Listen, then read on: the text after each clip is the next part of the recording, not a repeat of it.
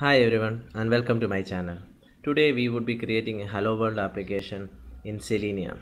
So our idea would be to navigate to the Google page and type Hello World in the search field.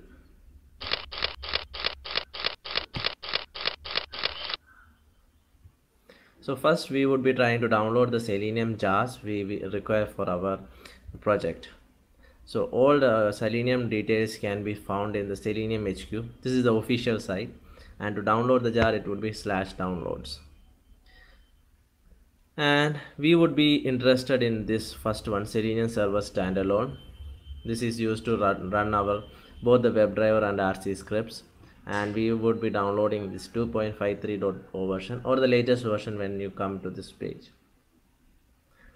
and after you have downloaded your selenium drivers the next step would be creating our script our script has multiple parts one would be creating the browser instance we would be using firefox browser then navigating to the google page and typing hello world in the search field then we would be closing the browser so to get a Firefox driver browser, we would be using this following command. This is provided by Selenium and it's like Firefox driver driver is equal to new Firefox driver. The new is a Java keyword. We won't be discussing those right now. So, so for the time being, we are using the Selenium command to create a Firefox driver. So when this command executes, we will see a new Firefox window open now the same driver we are using and navigating to uh, our google page so we are using the method called get this line we are doing multiple operations the first one we are identifying an element in the google page by name called q and then we are sending hello world. Okay so two operations are there. We are finding an element by the name q and then sending the key hello world. Last operation we will be closing the firefox. Let us know how try to understand how do we identify an element. So after you have navigated to the google page if you right click on any element and say inspect element it will show out what are elements are present in this page. So if you can see the google search page is of type input and has multiple fields.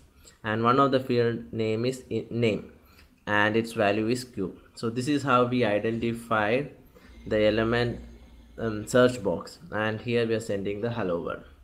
Now let us try to run our script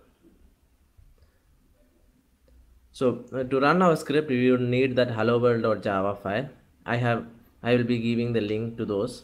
And then the selenium jar you have downloaded. So the first thing we would be doing is right click uh, with shift pressed. And we can open a command window here. So you will be getting a command prompt opened. Now as you can see in the command prompt you are already in the hello world or whichever directory you have pasted your uh, java file and your selenium jar. So the first thing we would be doing is compiling the java file and making a class file. So the command would be java c. Hope you have set the environment variables.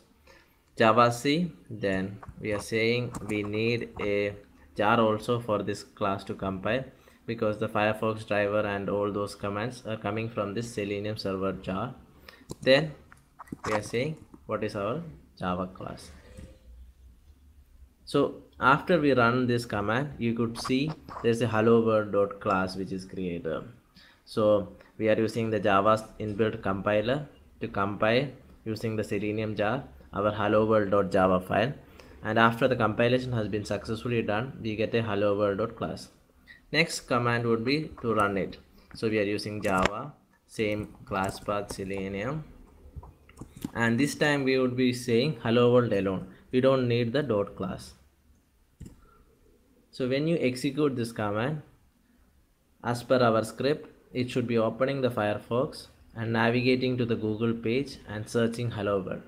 I have given a 10 second delay that's why it's waiting. And after that it will close the browser so this was a simple example. We are not doing any assertions but to understand how our project works. I hope everyone got an idea. To run our project you have to give these two commands. Then for reference i have put our selenium script in a github project and that also will be linked. I hope you guys got an idea. Thank you